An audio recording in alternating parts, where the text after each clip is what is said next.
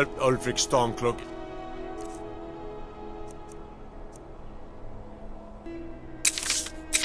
City after he murdered High King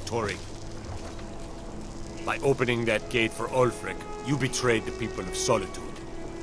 He doesn't deserve to speak! There was no murder. We shouldn't leave Solitude without trying our fingers. Help! Someone's being attacked! Someone